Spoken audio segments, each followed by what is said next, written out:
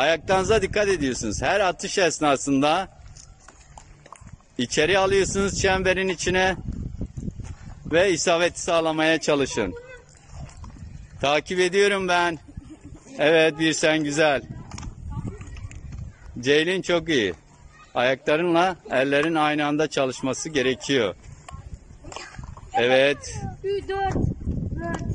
Evet. Güzel.